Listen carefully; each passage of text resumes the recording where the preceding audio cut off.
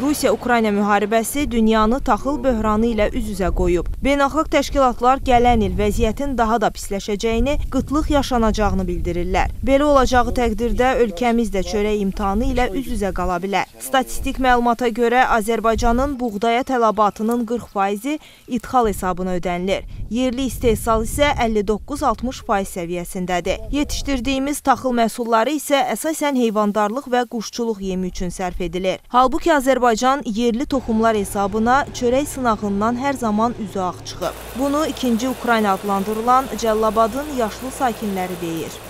Yadımdadır bu torpaqlarda kəhraba, sarı kəhraba, sarı buğda deyilən sortlar var idi ki, o çörəklə, onun unun, yəni təndirdə çörəyin bişirəndə inanırsınız kilometrlərlə onun iç ətri, həmin çörəyin ətri gəlirdi. E, yəni bu qədər önəmli idi, bu qədər keyfiyyətli idi. Son vaxtlar çoxlu e, taxıl növləri gətirilir, amma effektli olmur. Bura gətirilən, burada əkilən o taxıl məhsulları, növləri daha doğrusu məncə bizim üçün o qədər də şeydir, əhəmiyyətli deyil.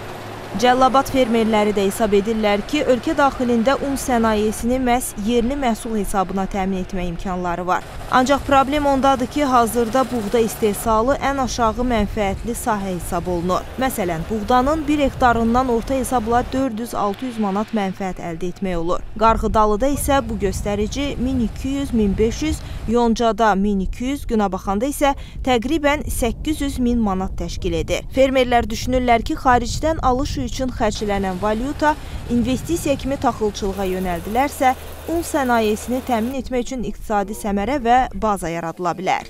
Əgər əvvəlki kimi bizim cəllabat əkinə qayıtsa, taxıl əkdə torpağa uyğun toxum hansı toxumu becərir, məhsul verirsə, o toxumdan əkilsə, bəli, yenə ikinci Ukrayna sayılar. Əvvəl biz el arasında qaraqılçıq deyərdik.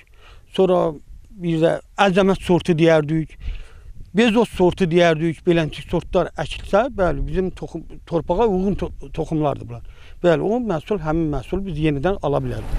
Fermerlər bildirirlər ki, taxıl istehsalı üçün kifayət qədər texnika da var, texnikanı idarə edən mütəxəssislər də. Əvvəla nisbətdə indi yaxşıdır. Çünki dövlət tərəfindən subsidiya verilir, azot verilir, azovoska verilir, ondan sonra kombay haqqı verilir.